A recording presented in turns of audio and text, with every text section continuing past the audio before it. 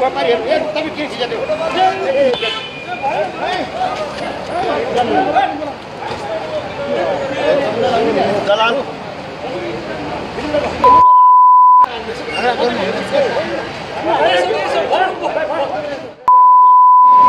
झगडा गरे होइन यो एउटा ऊ मात्रै हो।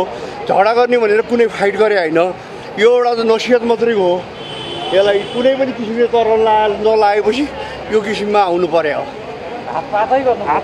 होइन त्यो हातपात यो त तपाईँहरूको उसमा हातपात भयो भने होला तर वनवासी गर्ने र जसले पनि गर्छ। हातपात गरियो। त्यसको जिम्मा म लिन्छु। भित्री अन्तर्निहित कुरा। मलाई थाहा छ। तपाईँ त जानुहुन्छ त भित्र। होइन म भित्र गएँ। मलाई केही पनि छैन। मलाई अदालत यो बारको परिसर हो। होइन म भित्र जाने र नजाने भन्ने कुरा त्यो मलाई थाहा छ।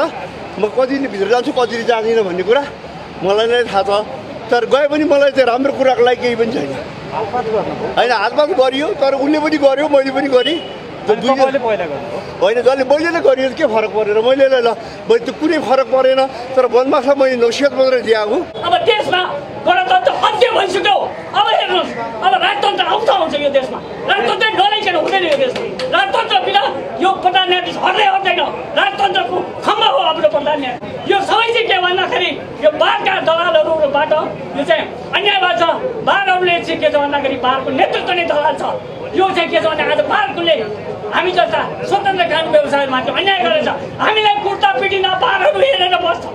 बारहरूका पदाधिकारी हेरेर बस्छ हाँसेर बस्छ। यो कस्तो अन्याय छ? एउटा कानुन व्यवसाय आएर अदालतमा पिटिन्छ। अदालतमा आएर एउटा कानुन व्यवसाय पिट्छ।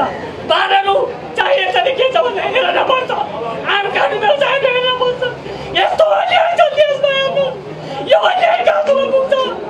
आज अदालतमा आएर म देशमा पहिलोचोटि पिटिनु भनेको यो हेर्नुहोस् यो अन्त्य हो यो लाज छ भने यो व्यवस्थाको अन्त्य होस् यही ठाउँबाट भन्छु म म रगत बोलाउन चाहन्छु राजतन्त्र आउनै पर्छ राजतन्त्रलाई म छोड्दै छोड्दिनँ आज मैले हिजो चाहिँ इन्टरभ्यू गरेको आधारमा चाहिँ मलाई कुटपिट भएको छ इन्टरभ्यू दिनु नहुने अरे बोल्नु नहुने यदि तपाईँले ओसोकिङ ओटिभीलाई युट्युबमा हेर्नु चाहनुहुन्छ भने सब्सक्राइब गर्नुहोस् र फेसबुक पेज ओसोकिङ ओटिभीलाई लाइक गर्नुहोस् र तपाईँहरूले अपडेटहरू हेर्न सक्नुहुनेछ